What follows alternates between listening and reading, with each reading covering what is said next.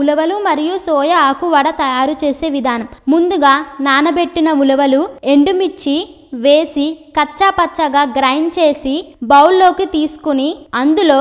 ఉప్పు సోయా ఆకు సన్నగా తరిగిన ఉల్లిపాయ ముక్కలు కొత్తిమీర